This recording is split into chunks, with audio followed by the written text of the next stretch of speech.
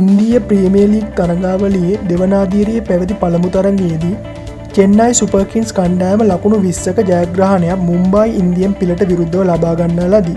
එහිදී ගයිකාඩ් විසින් අනර්ග ඉනිමක් ක්‍රියාත්ම කළ අතර ඔහු පන්දුවාර පනස් අටකදී නොදැවී ලකුණු අසු වටක් රැස් කරා. එම ඉනිමත් සමඟ සස්ක පිළ ජයග්‍රහණය කරා ගෙන යාමට ඔහු සමත් වුණා.